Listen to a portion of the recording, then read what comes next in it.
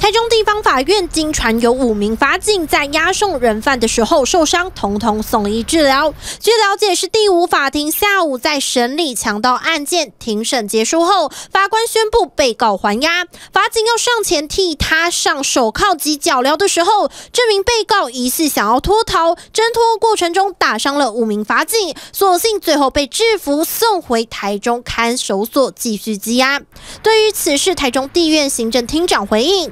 法警受伤并不严重，到医院包扎后就返家休息。好，有电话他了解，好像没有什么大碍，没关系。对，没什么大碍。法院内的法警也证实有同仁受伤，但目前没有大碍。